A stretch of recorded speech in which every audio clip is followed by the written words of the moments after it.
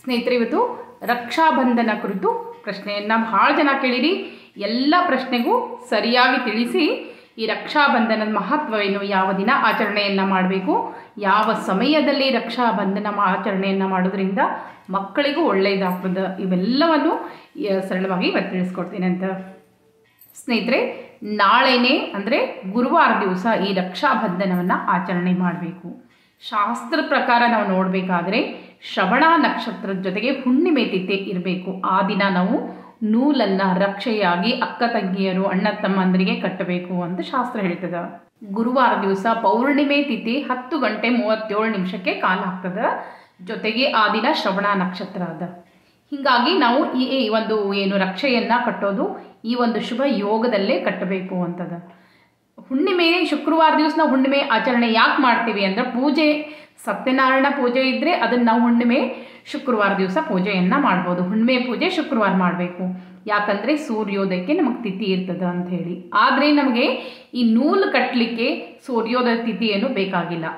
ಅದಕ್ಕಾಗಿ ಇದು ಒಂದು ಗಂಡು ಮಕ್ಕಳಿಗೆ ಒಂದು ರಕ್ಷೆಯಾಗಿ ಕಟ್ಟುವಂಥ ಹಬ್ಬ ಅಂತ ಆಚರಣೆ ಮಾಡಬೇಕಾದ್ರೆ ಶ್ರವಣ ನಕ್ಷತ್ರ ದಿವಸ ಹುಣ್ಣಿಮೆ ಎರಡು ತಿಥಿ ಇರಬೇಕು. ಅಷ್ಟಲ್ಲದೆ ಆ ದಿನ ಆಯುಷ್ಮಾನ್ ಯೋಗ ಕೂಡ ಅದ ಗುರುವಾರ ದಿವಸ. ಅದಕ್ಕಾಗಿ ಬಹಳನೇ ಶ್ರೇಷ್ಠ ಅಂತ ಹೇಳ್ತೀವಿ. ಈಗ ಯಾವ ಸಮಯದಲ್ಲಿ ನಾವು ಈ ಒಂದು ರಕ್ಷೆಯನ್ನು ಕಟ್ಟಿಸ್ಬೇಕು ಅಂತ ಅನ್ನೋದಕ್ಕೆ ಪ್ರಶ್ನೆಗೆ ಉತ್ತರವನ್ನು ಕೊಡ್ತೇನೆ. ಗುರುವಾರ ದಿವಸ ಅತ್ಯಂತ ಶುಭ ಯೋಗ ಅಂತಂದ್ರೆ ಹನ್ನೆರಡರಿಂದ ಹನ್ನೆರಡು ಐವತ್ತ್ಮೂರು ನಿಮಿಷಕ್ಕೆ ಅಭಿಜಿನ್ ಮುಹೂರ್ತ ಅಂತ ಹೇಳ್ತೀವಿ.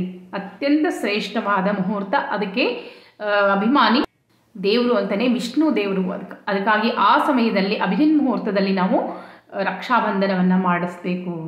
ಈ ಒಂದು ಮುಹೂರ್ತ ತಪ್ಪಿದರೆ, ಈ ಹನ್ನೆರಡು ಗಂಟೆ, ಹನ್ನೆರಡು ಐವತ್ತ್ಮೂರು ಮುಹೂರ್ತ ತಪ್ಪಿದರೆ, ಮಧ್ಯಾಹ್ನ ಎರಡು ಗಂಟೆ ಮೂವತ್ತೊಂಬತ್ತು ನಿಮಿಷದಿಂದ ಮೂರು ಗಂಟೆ ಮೂವತ್ತೆರಡು ನಿಮಿಷದವರೆಗೆ ವಿಜಯ ಅಂತ ಹೇಳ್ತೀವಿ. ವಿಜಯ ಮುಹೂರ್ತ ಅಂತ ಹೇಳ್ತೀವಿ. ಈ ಮುಹೂರ್ತದಲ್ಲೂ ಕೂಡ ನೀವು ರಕ್ಷಾಬಂಧನವನ್ನು ಮಾಡಿಸ್ಬೇಕು. ಹೆಣ್ಣು ಅಂದ್ರೆ ಅಕ್ಕ ತಂಗಿಯರು, ಅಣ್ಣ ಅಣ್ಣ ತಮ್ಮಂದರಿಗೆ ರಕ್ಷೆಯನ್ನು ಕಟ್ಟಿ ಆರತಿಯನ್ನು ಮಾಡಬೇಕು. ಈ ಸಮಯದಲ್ಲಿ ಏನಾದರೂ ಒಂದು ಸಿಹಿ ಪದಾರ್ಥವನ್ನು ಇಟ್ಕೊಂಡು ಅವರಿಗೆ ತಿನ್ನಿಸಿ ಆರತಿಯನ್ನು ಮಾಡಿ, ಈ ಒಂದು ಹೇ ಶುಭ ಮುಹೂರ್ತದಲ್ಲಿ ಮಾಡಿದರೆ ಗಂಡು ಮಕ್ಕಳ ಆಯುಷ್ಯ ಕೂಡ ಹೆಚ್ಚಾಗ್ತದೆ. ಅವರು ಏನೇ ಒಂದು ಕೆಟ್ಟ ತನದಲ್ಲಿ ಅವರು ಏನೇ ಕಟ್, ಕಂಟಕಗಳಿದ್ರೂ ಕೂಡ ಆ ಒಂದು ರಕ್ಷೆಯನ್ನು ಕಟ್ಟಿ ಆರತಿಯನ್ನು ಮಾಡಿದರೆ ಮಕ್, ಗಂಡು ಮಕ್ಕಳ ಕಂಟಕ ಎಲ್ಲ ದೂರ ಆಗ್ತದೆ ಅಂಥೇಳಿ. ನಮ್ಮ ಪೂರ್ವಜರು ಈ ಒಂದು ಹಬ್ಬಕ್ಕೆ ಯಾಕೆ ಇಷ್ಟೊಂದು ಮಹತ್ವವನ್ನು ಕೊಟ್ಟರು ಅಂತಂದ್ರೆ ಸುಂದರವಾದ ಪೌರಾಣಿಕ ಕಥೆ ಬರ್ತದೆ, ಕೃಷ್ಣ ಮತ್ತು ದ್ರೌಪದಿ ಸೋದರತೆ ಸಂಬಂಧ ಅಂತ ನಾವು ಹೇಳ್ತೇವೆ. ಆ, ಈ ಸಂಕೇತವಾಗಿ ನಾವು ರಕ್ಷಾಬಂಧನ ಅಂಥೇಳಿ ಆಚರಣೆಯನ್ನು ಮಾಡ್ತಾರೆ ಹೇಳಿ. ಶಿಶುಪಾಲ ನೂರು ತುಪ್ಪಗಳನ್ನ ಮಾಡಿದ್ರು ಸಹಿತ ನಾ ಕ್ಷಮಿಸ್ತೇನೆ ಅಂತೆ ಅವ್ರ ತಾಯಿಗೆ ಮಾತು ಕೊಟ್ಟಿರ್ತಾನ. ತಾಯಿಗೆ ಮಾತು ಕೊಟ್ಟಂತೆ ಅವನು ಶಿಶುಪಾಲ ಏನೇ ಕೆಟ್ಟತನ ಮಾಡಿದರೂ ಅವನು ನೂರು ತಪ್ಪುಗಳನ್ನು ಭಗವಂತ ಅವನಿಗೆ ಮನ್ನಿಸ್ತಾನ. ಆದರೆ ನೂರನೇ ತಪ್ಪು ಅವನು ಯುಧಿಷ್ಠರ ರಾಜಸುಯೋಗ ಯಾಗ ಮಾಡುವಂತಹ ಸಂದರ್ಭದೊಳಗೆ ಶಿಶುಪಾಲ ಬಾಯಿಗೆ ಬಂದಂತೆ ಕೃಷ್ಣನಿಗೆ ಕೆಟ್ಟದಾಗಿ ಮಾತಾಡ್ಲಿಕ್ಕೆ ಶುರು ಮಾಡ್ತಾನೆ. ಆಗ ನೂರು ತಪ್ಪುಗಳನ್ನು ಮನ್ನಿಸಿ ಮನ್ನಿಸಿದಂತಹ ಭಗವಂತ ಅವನ ವಧೆಯನ್ನು ಮಾಡಲೇಬೇಕಾಗ್ತದೆ. ಯಾಕಂದ್ರೆ ಕೃಷ್ಣ ಹುಟ್ಟಿ ಬಂದಿದ್ದೇ ಭೂಭಾರವನ್ನು ಇಳಿಸ್ಲಿಕ್ಕಾಗಿ. ಆಗ ಅವನು ತನ್ನ ಚಕ್ರವನ್ನು ಬಿಡ್ತಾನೆ. ಆ ಚಕ್ರ ಬಿ ಸಂದರ್ಭದೊಳಗೆ ಅದು ಕೈಗೆ ತಾಗಿ ಒಂದು ಸ್ವಲ್ಪ ಪೆಟ್ಟಾಗ್ಬಿಡ್ತದೆ. ಆಗ ಆ ದ್ರೌಪದಿ ತನ್ನ ಹುಟ್ಟಿರುವಂಥ ರೇಷ್ಮೆ ಸೀರೆಯನ್ನು ಹರಿದು ಆ ಕೃಷ್ಣನ ಕೈಗೆ ಕಟ್ಟದಾಳಂತ. ಆ ಕಟ್ಟಿದಾಗ ಆ ಕೃಷ್ಣ ಹೇಳ್ತಾನಂತ ನಿನ್ನನ್ನು ನಾನು ಎಂಥ ಸಂದರ್ಭದೊಳಗೂ ರಕ್ಷಣೆಯನ್ನ ಮಾಡ್ತೇನೆ ಅಂತ ಮಾತು ಕೊಡ್ತಾನಂತ. ಆ ಮಾತು ಕೊಟ್ಟಂತನೇ ಶ್ರೀಕೃಷ್ಣ ಮುಂದೆ ದ್ರೌಪದಿಗೆ ವಸ್ತ್ರಾಪಹರಣ ಸಮ ಸಮಯದೊಳಗೆ ಆಕೆಯನ್ನು ರಕ್ಷಣೆಯನ್ನು ಮಾಡಿದ ಅಂಥೇಳಿ. ಅಂದಿನಿಂದ ಆ ದಿನವನ್ನು ರಕ್ಷಾಬಂಧನ ಅಂದ್ರೆ ಅಣ್ಣ ತಮ್ಮಂದರು, ಅಕ್ಕ ತಂಗಿಯರನ್ನು ಕಾಪಾಡಬೇಕು. ಅವರ ಆಯುಷ್ಯ ಗಟ್ಟಿ ಆಗಬೇಕು ಅಂಥೇಳಿ ಹೆಣ್ಣು ಮಕ್ಕಳು ಗಂಡು ಮಕ್ಕಳಿಗೆ ರಕ್ಷೆಯನ್ನು ಕಟ್ಟಬೇಕು ಗಂಡು ಮಕ್ಕಳು ಹೆಣ್ಣು ಮಕ್ಕಳ ರಕ್ಷಣೆಯನ್ನು ಮಾಡಬೇಕು ಅಂತ ಶಾಸ್ತ್ರ ಹೇಳ್ತದೆ. ರಕ್ಷೆಯನ್ನು ಕಟ್ಟಲಿಕ್ಕೆ ಅಕ್ಕ ತಂಗಿಯರೇ ಇರಬೇಕು ಅಂತ ಏನಿಲ್ಲ.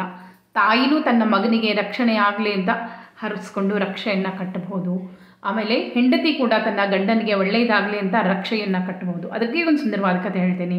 ಒಮ್ಮೆ ರಾಕ್ಷಸರು ಮತ್ತು ದೇವತೆಗಳ ನಡುವೆ ಯುದ್ಧ ಆಗ್ತಿರ್ತದಂತ. ಅಂತ ಆಗ ಯುದ್ಧ ಸಮಯದಲ್ಲಿ ದೇವತೆಗಳೆಲ್ಲ ಸೋಲುವಂಥ ಸಂದರ್ಭ ಬಂದ್ಬಿಡ್ತದೆ. ಸೋಲುವಂಥ ಭೀತಿಯಲ್ಲಿದ್ದಂಥ ದೇವತೆಗಳಿಗೆಲ್ಲ ಆಗ ದೇವತೆಗಳು ಬೃಹಸ್ಪತಿ ಒಂದು ಶರಣು ಹೋಗ್ತಾರಂತ ಏನು ಮಾಡಬೇಕು? ಈ ರಾಕ್ಷಸನ್ನೆಲ್ಲ ಕೊಲ್ಲಬೇಕಾದ್ರೆ ಎಲ್ಲರೂ ನಮ್ಮನ್ನು ಸೋಲಿಸ್ತಾ ಇದ್ದಾರೆ. ಏನು ಮಾಡಬೇಕು ಅಂತ ಹೇಳಿ ಬೃಹಸ್ಪತಿಗೆ ಮೊರೆ ಹೋಗ್ತಾರಂತ ಆಗ ಇಂದ್ರ ಮೊರೆ ಕೇಳಿದ ಬೃಹಸ್ಪತಿ, ಇಂದ್ರನ ಹೆಂಡತಿ ಹೇಳ್ತಾರಂತ, ನೀನು ಹರಿಸ್ಕೊಂಡು ನಿನ್ನ ಗಂಡನಿಗೆ ಒಳ್ಳೆಯದಾಗಲಿ ಅಂತ ರಕ್ಷೆಯನ್ನು ಕಟ್ಟು ಅಂತ ಹೇಳಿ. ಅವಾಗ ಇಂದ್ರಾಣಿಗೆ ಸಲಹೆಯನ್ನು ಕೊಟ್ಟಾಗ ಆ ಇಂದ್ರಾಣಿ ಇಂದ್ರನಿಗೆ ರಕ್ಷೆಯನ್ನು ಕಟ್ಟಿ ಯುದ್ಧಕ್ಕೆ ಕಳಿಸ್ತಾಳಂತ. ಆಗ ದೇವತೆಗಳಿಗೆಲ್ಲ ಜಯ ಸಿಕ್ತಂತ. ಅದಕ್ಕಾಗಿ ನಾವು ರಕ್ಷೆಯನ್ನು ಕಟ್ಟೋದು ಅಂತ ಹೇಳ್ತೀವಿ. ಸ್ನೇಹಿತರೆ, ಇನ್ನೊಂದು ವಿಷಯನ ಹೇಳ್ತೀನಿ. ರಕ್ಷೆ ಕಟ್ಟೋದು ಅಂದ್ಕೊಂಡು ರಕ್ಷಾಬಂಧನ ಅಂದ ತಕ್ಷಣ ನೀವು ಮಾರ್ಕೆಟ್ನಲ್ಲಿ ಸಿಗುವಂಥ ಎಂತಿಂಥದ್ದೋ ಪ್ಲಾಸ್ಟಿಕ್ಕು ರಬ್ಬರಿನ್ನು ಅದು, ಇದು ತೊಗೊಂಡು ಬಂದು ರಕ್ಷೆಯನ್ನು ಕಟ್ತೀರಿ. ಮಕ್ಕಳಿಗೆ ರಕ್ಷೆ, ಈ ರಕ್ಷಾಬಂಧನದ ರಕ್ಷೆಯನ್ನು ಕಟ್ಟಬೇಕಾದ್ರೆ ರೇಷ್ಮೆಯ ನೂಲಿನಿಂದ ಮಾಡಿದಂಥ ದಾರವನ್ನೇ ಕಟ್ಟಬೇಕೇ ಹೊರತು ಆ ನಾನಾ ಥರದ ಟಿಕಳಿ, ಗಿಕಳಿ ಹಚ್ಚಿದಂಥ ರಕ್ಷಾ, ರಕ್ಷೆ ಅಲ್ವೇ ಅಲ್ಲ. ರಕ್ಷೆ ಅಂದ್ರೇನು? ರೇಷ್ಮೆ, ದಾರ, ನೂ ನೂಲಿದಂಥ ರೇಷ್ಮೆ ದಾರದಿಂದ ಮಾಡಿದಂಥ ಎಳೆಗಳನ್ನು ಕಟ್ಟೋದು ರಕ್ಷೆ ಅಂತ ಹೇಳ್ತೇವೆ. ಈಗ ಹೆಚ್ಚಾಗಿ ಏನು ಮಾಡಿಬಿಡ್ತೀರಿ ಎಲ್ಲರೂ?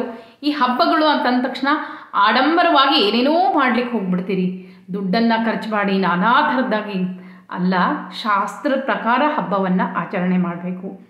ನಾನಾ ಥರದ ಮಾರ್ಕೆಟ್ನಲ್ಲಿ ಸಿಗುವಂಥ ರಕ್ಷೆಕ್ಕಿಂತ ರೇಷ್ಮೆ ನೂಲಿಂದ ತೆಗೆದಂಥ ರಕ್ಷೆಯನ್ನು ಕಟ್ಟೋದ್ರಿಂದ ಮಕ್ಕಳ ಆಯುಷ್ಯ ಅಭಿವೃದ್ಧಿ ಆಗ್ತದೆ. ಈ ರಕ್ಷೆಯನ್ನು ಕಟ್ಟುವಾಗ ಏನು ಹೇಳಬೇಕು ಅಂದ್ರೆ, ಏನ ಬದ್ಧೋ ಬಲಿರಾಜ ದಾನವೇಂದ್ರೋ ಮಹಾಬಲಃ ತೇನ ತ್ವಾಂ ಪ್ರತಿಬದ್ನಾಮಿ ರಕ್ಷೆ ಮಾಚಲ ಮಾಚಲ ಅಂತ ಹೇಳಿ ಹೆಣ್ಮಕ್ಳು ಈ ಒಂದು ಸ್ತೋತ್ರವನ್ನು ಹೇಳಿ ರಕ್ಷೆಯನ್ನು ಕಟ್ಟಬೇಕು. ಅಂದರೆ ನಾನು ಕಟ್ಟಿರುವಂಥ ಈ ಒಂದು ರಕ್ಷೆ ಅವನ ಜೀವನವನ್ನು ರಕ್ಷಣೆ ಮಾಡಲಿ ಅಂತ ಹೇಳಿ ಕಟ್ಟೋದಿದು. ನಮ್ಮ ಯಾವುದೇ ಹಬ್ಬವನ್ನು ನಮ್ಮ ಪೂರ್ವಜರು ಶಾಸ್ತ್ರೋಕ್ತವಾಗಿ ಇಟ್ಟಾರ, ಆಡಂಬರಿಕವಾಗಿ ಮಾಡಬಾರ್ದು. ನೂಲನ್ನೇ ಕಟ್ಟಬೇಕು. ಒಂದು ಏನು ರೇಷ್ಮೆ ದಾರದಿಂದ ಮಾಡಿದಂಥ ನೂಲನ್ನು ತಂದು ಅದನ್ನೇ ಕಟ್ಟಬೇಕೇ ಹೊರತು ಈ ಮಾರ್ಕೆಟ್ನಲ್ಲಿ ಸಿಗುವಂಥ ಪ್ಲಾಸ್ಟಿಕನ್ನು ತಂದು ಕಟ್ಟಬಾರ್ದು. ಶಾಸ್ತ್ರೋಕ್ತವಾಗಿ ಹಬ್ಬವನ್ನು ಆಚರಿಸ್ರಿ, ಆಡಂಬರಿಕವಾಗಿ ಬೇಡ. ಅಂದಾಗ ಮಾತ್ರ ನಮ್ಮ ಎಲ್ಲ ರಕ್ಷಣೆ ಫಲ ಸಿಗ್ತದೆ. ನಮಗೆ ಹಬ್ಬ ಹುಣ್ಣಿಮೆಗಳ ಫಲ ಸಿಗಬೇಕು ಅಂದರೆ ಶಾಸ್ತ್ರೋಕ್ತವಾಗಿಯೇ ನಾವು ಹಬ್ಬಗಳನ್ನ ಆಚರಣೆ ಮಾಡಬೇಕಾಗ್ತದೆ. ಅದಕ್ಕಾಗಿ ಗುರುವಾರ ದಿವಸ ಶ್ರವಣ ನಕ್ಷತ್ರದ ಆ ದಿನ ಹಬ್ಬವನ್ನು ಆಚರಣೆಯನ್ನು ಮಾಡಿರಿ, ಮಕ್ಕಳಿಗೆ ರಕ್ಷೆಯನ್ನು ಕಟ್ಟಿಸ್ರಿ. ಶುಕ್ರವಾರ ದಿವಸ ಧನಿಷ್ಠ ನಕ್ಷತ್ರ ಇರೋದ್ರಿಂದ ಬೇಡ ಅಂತ. ಹುಣ್ಣಿಮೆ ಪೂಜೆ ಶುಕ್ರವಾರ ಮಾಡಿರಿ. ಆದ್ರೆ ಈ ಒಂದು ರಕ್ಷೆಯ ಹಬ್ಬ ಗುರುವಾರ ದಿವಸ ಆಚರಣೆಯನ್ನು ಮಾಡಿರಿ ಅಂತ ಹೇಳ್ತಾ ಇವತ್ತಿನ ಪೋಸ್ಟನ್ನು ಮುಗಿಸ್ತಾ ಇದ್ದೀನಿ. ಮತ್ತೆ ಮುಂದಿನ ಪೋಸ್ಟ್ನಲ್ಲಿ ಸಿಗ್ತೇನೆ ಸ್ನೇಹಿತರೆ. ನಮಸ್ಕಾರ.